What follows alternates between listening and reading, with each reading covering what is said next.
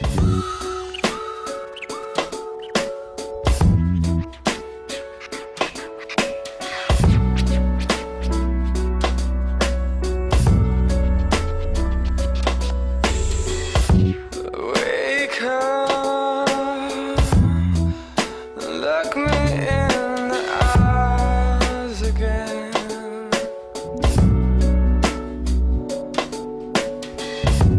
I need to feel your hand upon my face.